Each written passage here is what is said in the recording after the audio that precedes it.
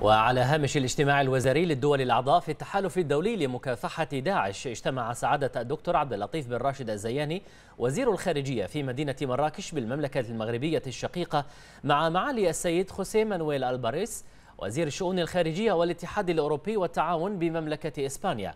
وتم خلال الاجتماع بحث علاقات الصداقة التاريخية التي تربط بين البلدين الصديقين وسبل تعزيز التعاون الثنائي بينهما في مختلف المجالات خدمة للمصالح المتبادلة.